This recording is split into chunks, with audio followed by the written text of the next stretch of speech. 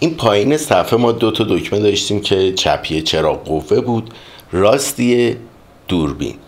از اون طرف سفر رو می‌کشیم سمت چپ می‌رفت تو دوربین و دوربین خیلی بکار نبود. یا چرا قوه رو می‌خواستیم نورش کم و زیاد کنیم میومدیم از کنترل سنتر مثلا با چرا قوهمون کار می‌کردیم و نورش رو کم و زیاد می‌کردیم. اما الان تو است 18 ما می‌تونیم این دوتا دکمه رو عوض کنیم. چی جوری؟ تو همین صفحه که هستیم wallpaper مون رو یه فشار میدیم میایم رو customize lock screen رو می‌زنیم و اینجا می‌بینین دوتا رو می‌تونیم منفی بزنیم.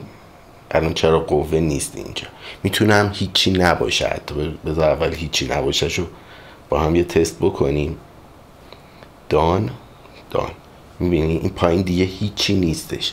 و این هیچی نبودن خودش خیلی option ا. خیلی وقتا دستمون گیر می‌کنه داریم گوشی دستمون یهو می‌بینیم چراغ قوه‌ش روشن شد. دیگه از این bug ا نداریم. حالا میریم تو customize lock screen و اینو ببینید چقدر اینجا option داریم. آلار ماشین حساب نمی‌دونم HomeKit اپلمون shortcut ها ذره‌بین Shazam. اینا رو داریم می‌تونیم به قابلیت های assistive دسترسی داشته باشیم از اینجا. QR کد خون نمی‌دونم دیگه چی. حتی airplane mode مون رو می‌تونیم اینجا بذاریم دم دست یا hotspot مون. brightness display که فقط dark mode و فلانه.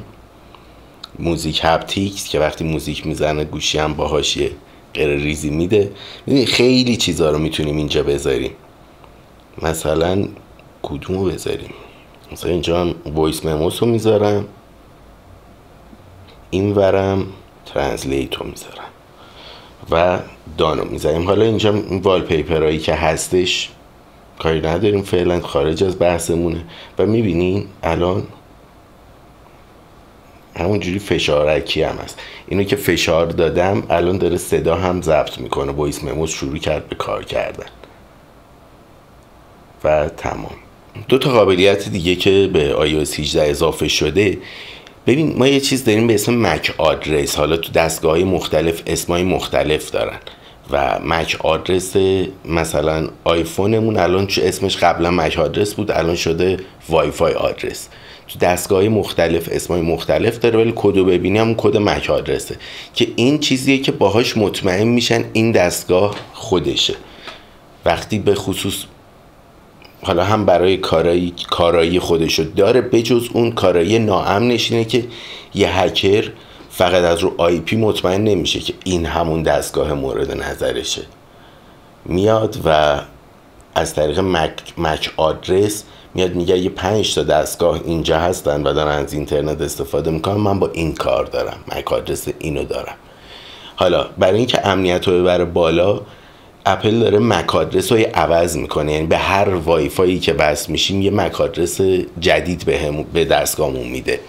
و اینجوری امنیتمون فوق العاده بالاتر میره و نفوذ کردن به دستگاهمون فوق العاده پیچیده ترم میشه روندش. پیچیده هست پیچیده ترم میشه. یه قابلیت دیگه هم که اینم تو کتگوری امنیت میگنجه میشه راجبش صحبت کرد اینه که می‌تونیم اپامون رو مخفی کنیم. یعنی همینجوری که یه داریم انگشتمون روش نگه میداریم و می‌تونیم اینو مخفیش کنیم یا می‌تونیم براش قفل بذاریم که با فیس آیدی باز شه. که حالا الان امکانشو ندارم نشونتون بدم چطوری کار می‌کنه و بخوام آموزشش بدم ولی بعدا حتما راجبش صحبت می‌کنیم.